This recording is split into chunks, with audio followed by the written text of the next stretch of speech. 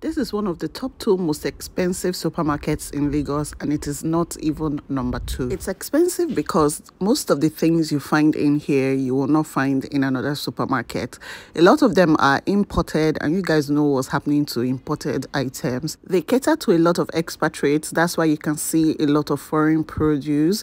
And I like to come here just because there's some ingredients that just look perfect or some ingredients or some food I've never seen before. I only see in movies or read about in books and then you can find them here. For example, the first time I saw edible flowers was here. Also, the time I found mango, one mango, 5,000 naira was here too.